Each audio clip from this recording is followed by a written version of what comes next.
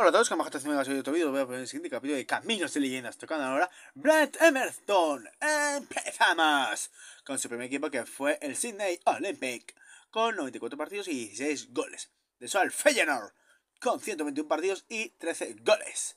Luego al Blackburn Roberts, con 257 partidos y 15 goles. Y su último equipo fue el Sydney FC con 57 partidos y 7 goles.